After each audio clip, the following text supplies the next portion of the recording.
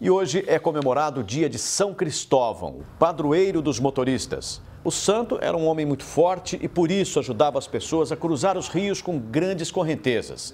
Diz a lenda que certa vez, sem saber, ele teria carregado nos ombros o menino Jesus.